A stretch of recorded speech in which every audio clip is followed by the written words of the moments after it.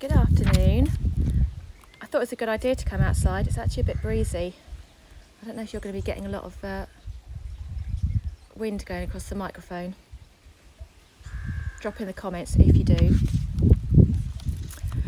So, this is my little Thursday slot where I don't spend too long because I know we're very busy. But I today I'm going to pose you one question but it's talking about a certain topic and almost giving you a little bit of a virtual coaching sesh.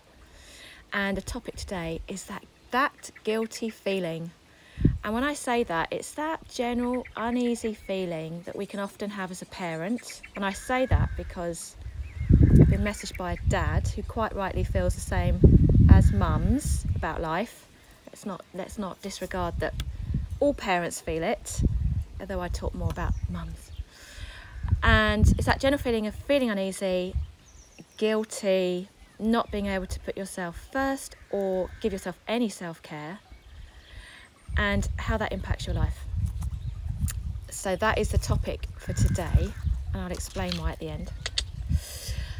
So, what are my points? What are my little points that I was thinking about making?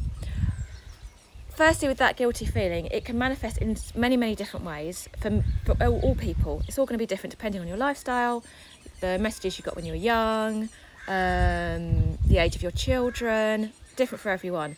But it's that kind of feeling that if you are away from the children whether they're at school or they're out with their mates as they get older you've got time to yourself but you feel like you've got to crack on with everything else. There's there's some guilt going on there also, when you think about trying self care, but you just can't justify it, oh, couldn't possibly do that. There's so many other things I should be doing. Uh, there's another bit of guilt there. Uh, also, when you do think of taking out time for yourself, it's not just the fact that you think, well, I'm too busy for that, I'll do it later, and you never do. It's also the feeling that it's selfish. Oh, it's selfish to put myself first. There's so many other people to worry about and look after and fret about. And you could also be thinking, well, that's very unproductive. How can I sit down and read a book with a cup of tea? Or how can I just take myself off for a walk in nature when I've still got about 15 things to do on my to do list and I'm behind on my work? These are all signs that you're feeling guilty, and this is all signs of you just not looking after yourself. And as I said to someone the other day, if you don't look after yourself, the wheels fall off, and then where does it leave you? In a whole sea of bother because you are probably the linchpin of the family people rely on you a lot, you need to be looking after yourself and getting this guilt out of the way. So, firstly, I would just like to say when you feel guilty, and I know that most people do feel guilty at some point as a parent, you're often going to feel like you're not doing enough and you're being a bad parent. When in fact, it's a sign that you're being a very good parent because you care, you're concerned, and you want to do well for your family. So, don't beat yourself up it's a good sign. It means that you are a good parent. That's my first tip, okay? Understand that you will never live up to the unexpected expectations, sorry, the unrealistic expectations that you put on yourself, okay? You will go around saying, I'm too busy, I have so much to do, there is so much to do, they need me to do so much.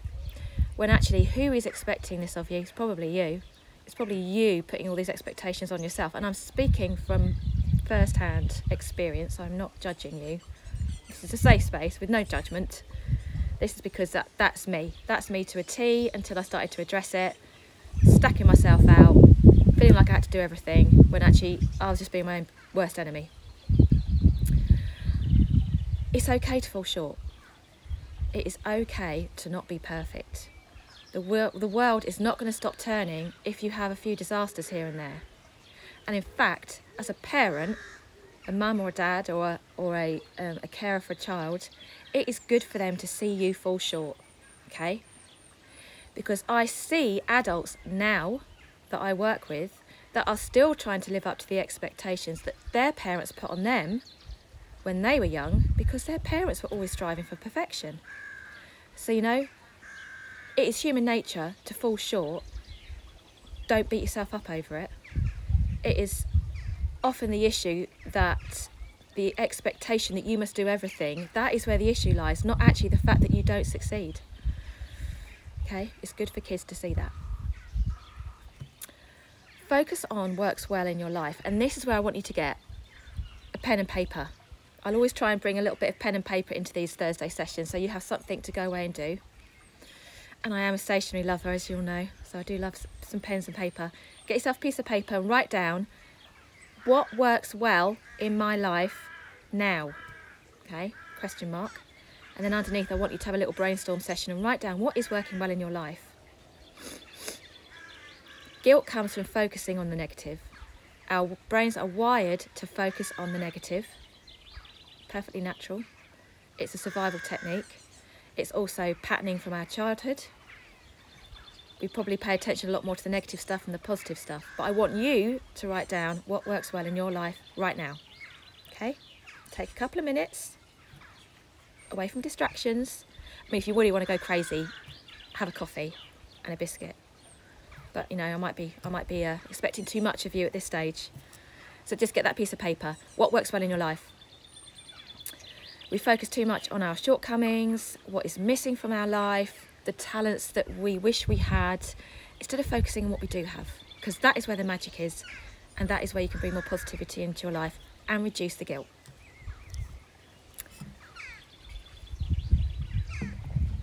Third point I want to make before I finish guilt is slowing you down big time in every aspect of your life.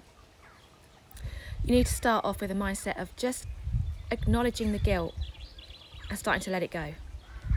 We can't strive for this positive mindset all the time. There is a lot of talk, and I do say it myself, but having a positive mindset, having a positive mindset.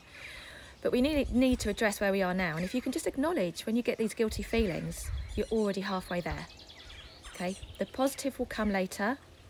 Let's just start with a good base level of acknowledging when that overwhelm comes in and starting to let it go.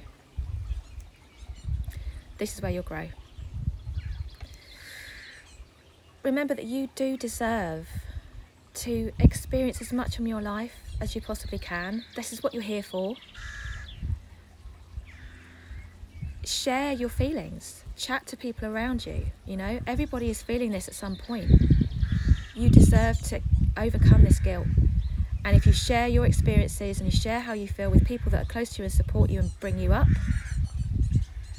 you'll get yourself in a much better position to step forward and realise who you really can be.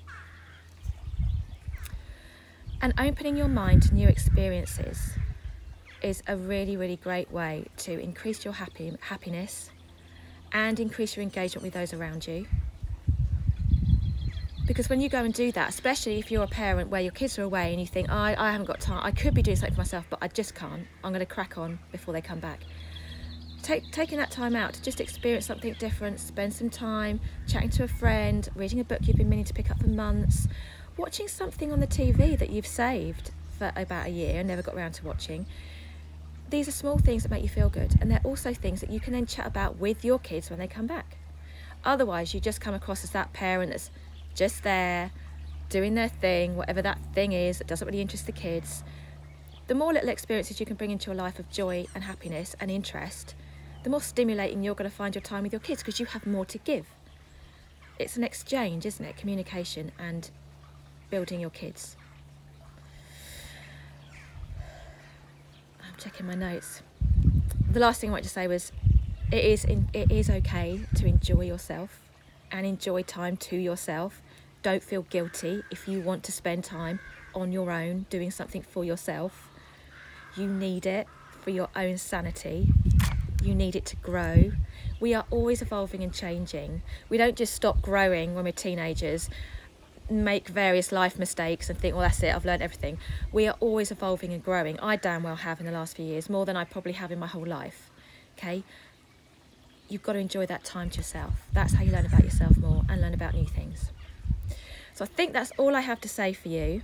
And I'm hoping that this has actually gone live because it's still telling me it's telling viewers that I'm here and no one has joined me yet, which is unusual. So I'll leave you with that. Watch this back. I know I've downloaded quite a lot of stuff to you. Any questions, drop me a line. Now, the reason I'm talking about guilt today, and I will be hammering it over to you next week, is that I'm launching my first online course. And I'm really excited about it. And people are already buying it because I'm giving it at half price, but not for long. The link is in my bio. It's the Mum Guilt Makeover. It is applicable for men as well. After having that chat with someone this morning, I acknowledge. Mum Guilt Makeover, you see, it, it runs well, so I went with that. Four actionable workbooks that you can download, four videos to support those workbooks, and an EFT session. If you haven't checked out my tapping videos, you need to one EFT session for you to help you overcome your limiting beliefs because this is the stuff that's holding you back. This is the stuff you learnt before you were seven years old and the stuff that's still playing you up today. And when you get to the end of the course, go to the very last section because it's all online and you work at your own pace. And I will be giving you a free 30 minute check-in call to check your results and help you with your next steps. This course is going to take you from the guilt and the overwhelm and the feeling stagnant in your life, in midlife, to making a plan for your future, overcoming your limiting beliefs, and literally knocking it out of the park.